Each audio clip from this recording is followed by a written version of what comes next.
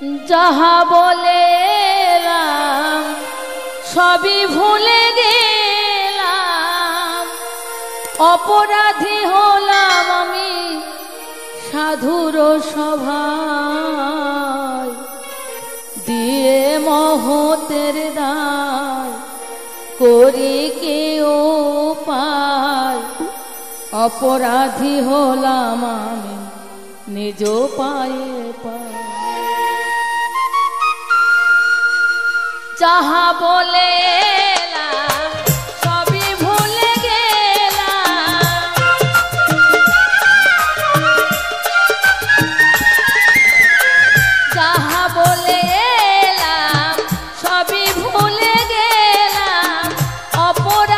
হলাম আমি সাধুর সভায়। দিয়ে মহতের দায় করি কি উপায়? নিজ পায়ে পার। দিয়ে মহতের দায় করি কি পায় অপরাধী হলাম আমি সাধুর সভায়।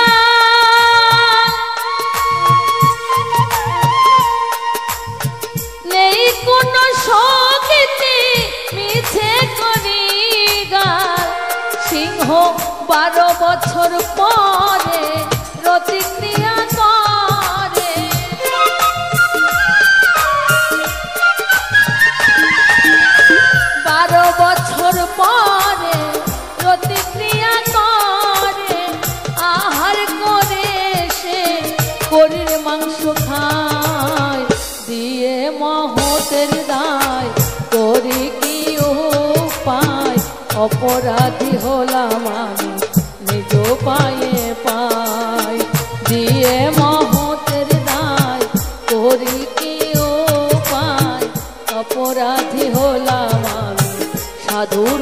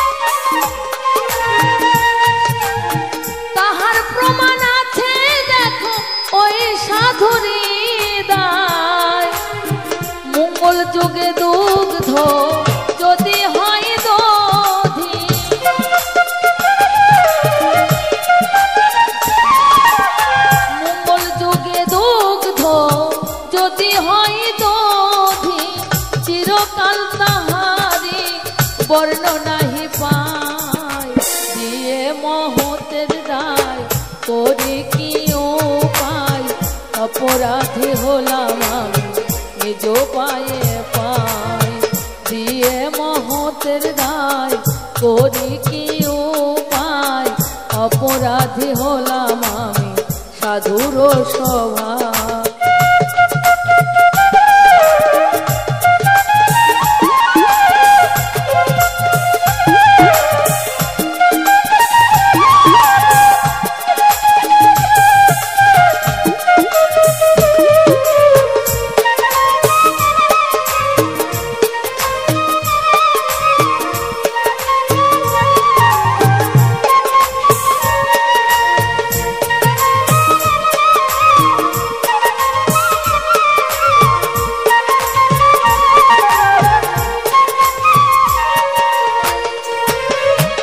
বলছেন, সিংহ বারো বছর পরে প্রতিক্রিয়া করে, আহার করে সে করির মাংস খায়।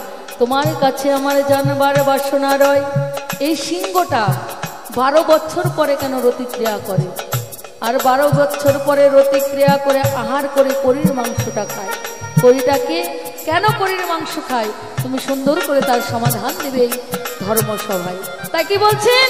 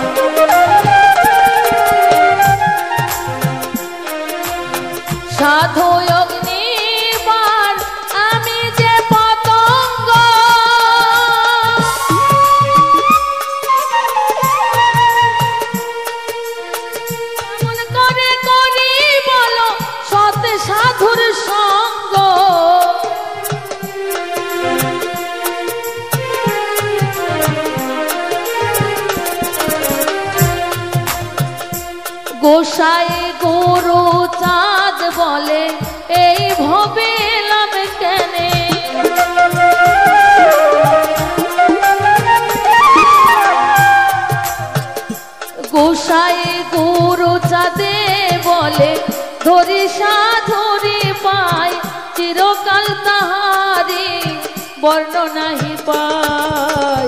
দিয়ে মহতের রায় করি কি উপায়? অপরাধী হলাম সাধুর সভায়। দিয়ে মহতের রায় করি কি উপায়? অপরাধী হলাম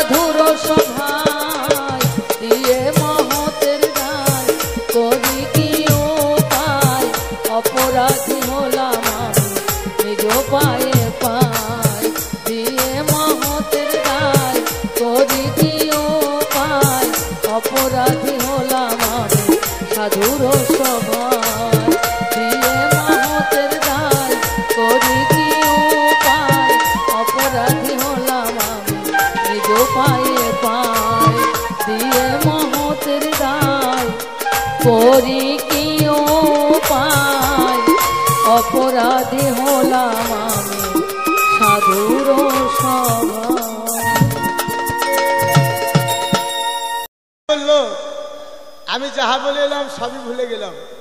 অপরাধী হলাম, নিজ পায়ে পাই। দেখো, একটা ছাত্র আর একটা ছাত্রকে বুঝি ক্লাস এইটে পড়েছে, আর সে মোটামুটি ক্লাস ফোরে পড়বে। তো ক্লাস এইটের ছাত্রটাকে এই আমাকে পড়াশোনা শিখেছি, আমি দশ বছর হলে ফরি আছি।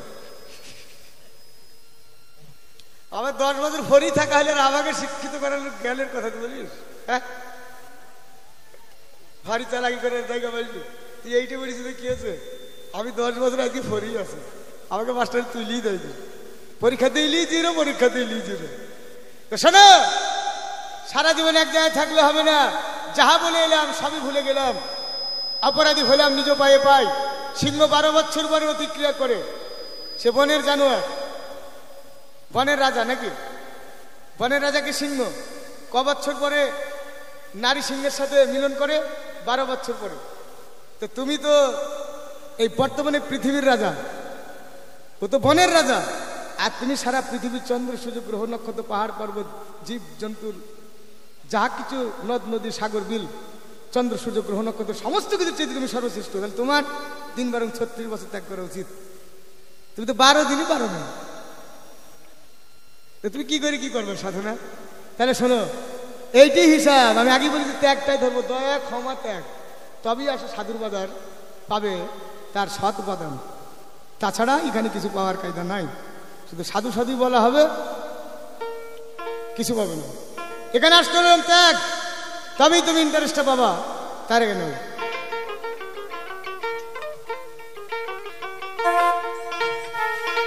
ওরে সেই সে ভাবে বাপের বেটা সেই সে ভাবে বাপের বেটা হইছে বিচক্ষণ, যেজন ভাবে রক্ষা করে পিতৃ বস্তু ধন। সেইটি বাপের বেটা, প্রকৃত পক্ষ কিন্তু আমাদের হওয়া সম্ভব হলো না কি বলছেন? আমরা চিহ্ন কই জান্ন কই? খানু মন্ডু আর শূন্য ঘুমানো, আবার সকালবেলায় যা কিছু কিন্তু কে করল? সাধু করেছে। তাই সাধুর বাজারে এই কথাই বাজে।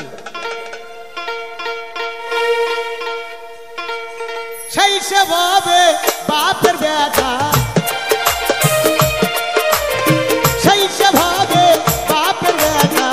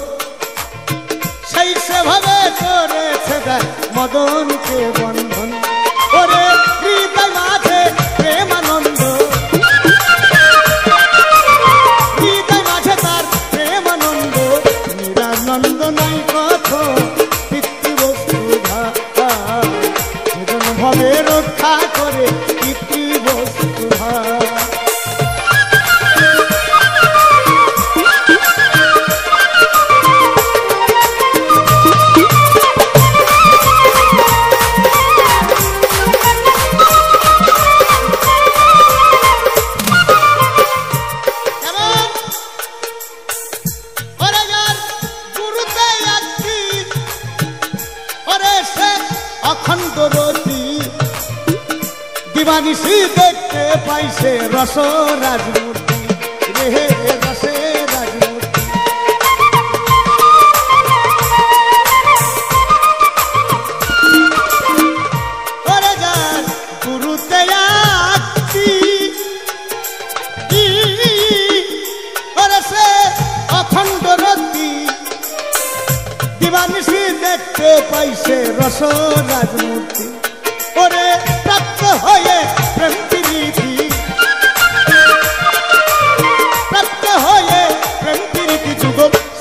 মহাজন ডাক ডাক পিতৃ বস্তু ধান। ভবে রক্ষা করে পিতৃ বস্তু যেজন ভবে রক্ষা করে পিতৃ বস্তু একদিন আমার দয়ার কোন কর্ম করিল? আরে সাহাবাই একরাম, গণের মধ্যে একটি ঘোষণা করিল। শোনো শোনো সাহাবাই আমার তোমাদের জানাই। আজ থেকে তোমাদের উপরে আমার একটি নিষেধ জারি হয়। এখন সাহাবাগন আশ্চর্য হয়ে গেল, হুজুর আবার নতুন করে কি নিষেধাজ্ঞা জারি করবেন? শোনো শোনো বন্ধুগণ, আমি বলি যে তোমাদের আজ থেকে তোমরা সবাই কম কম পানি খরচ করবে হবে পানি খরচ করবে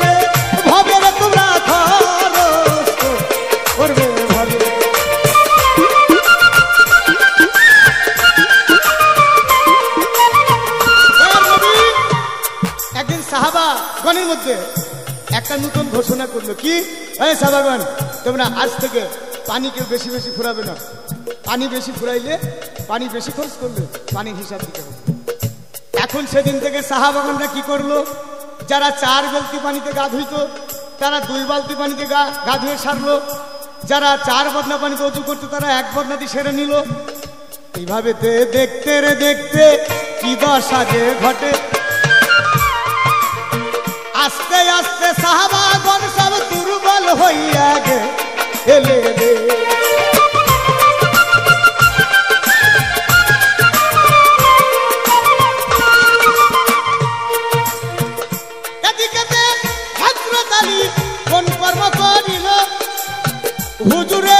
কথা সেদিন হইতে কি করিল? সেদিন হইতে বেশি বেশি পানি খরচ করে যায়। আগে যদি দশ বালতি লাগতো তার, নিষেধ করার পরে কুড়ি বালতি হয়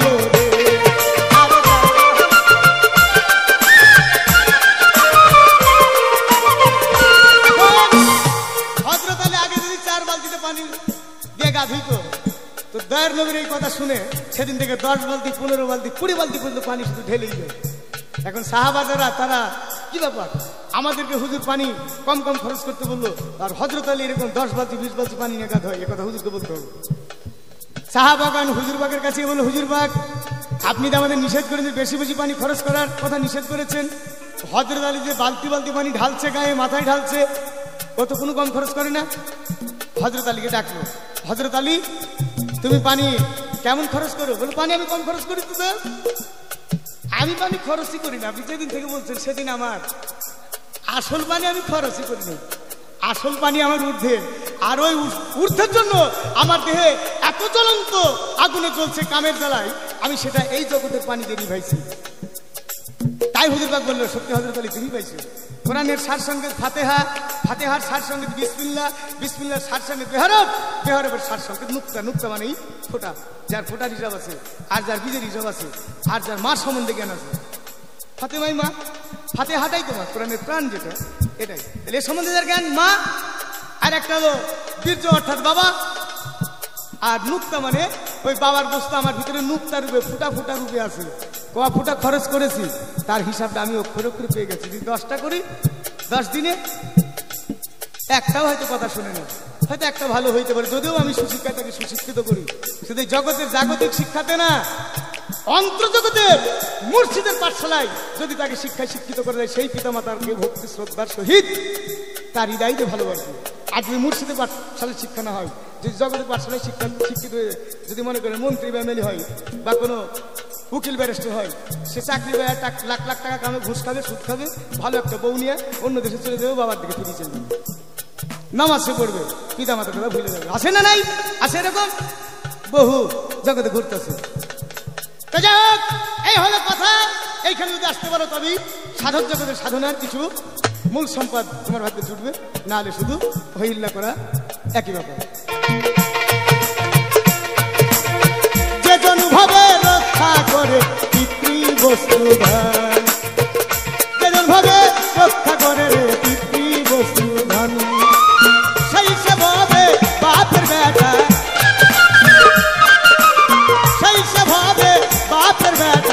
হইছে বিচক্ষণ ও জাগে জাগ পিতৃ বস্তু ধান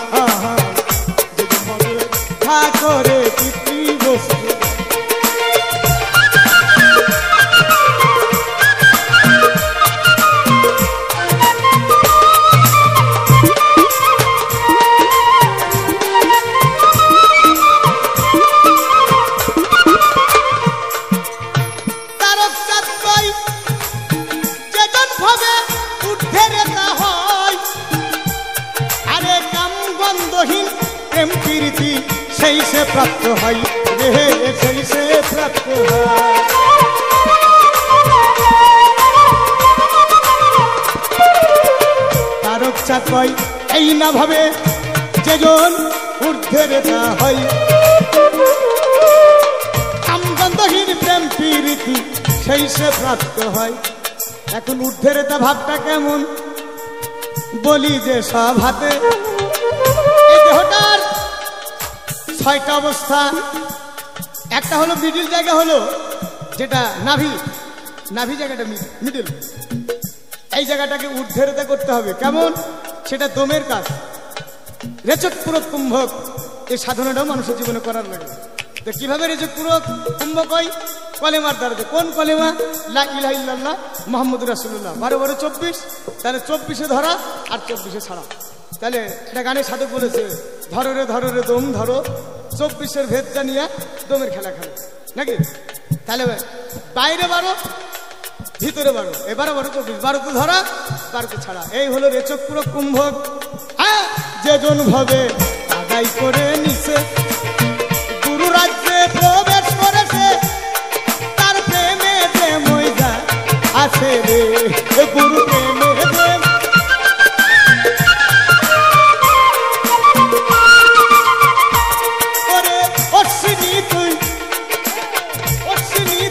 হিন্দুর আশা। আশা কূপে হলি পতন পিতৃ ভাষা ধান